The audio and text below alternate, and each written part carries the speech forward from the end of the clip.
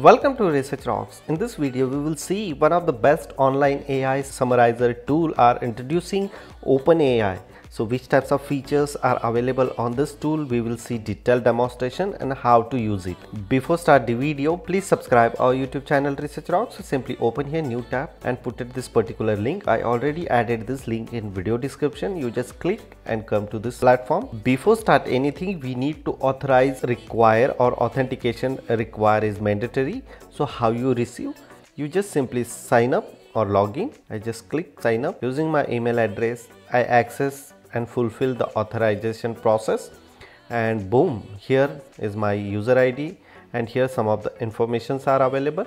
I just simply click here examples. Inside the examples several examples they are introducing I already make a several video regarding those examples but today we will see how to summarize. I just simply click here summarize for a second. After clicking here some of the informations are available which types of API you need and what is a process and all and then after you just simply click here open in playground click and here text summarization box is generated you just simply remove this one and put it your own text here so I copy and put it here my own text and I need to summarize this one. And here some of the text length related features are available. You can put it here up to 4000 words or 4000 characters and then you can do the summarizer.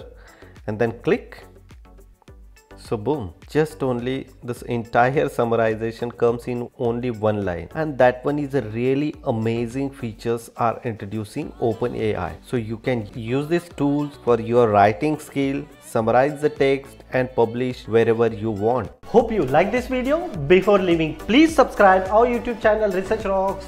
Till then, Jai Hind, Vande Mataram.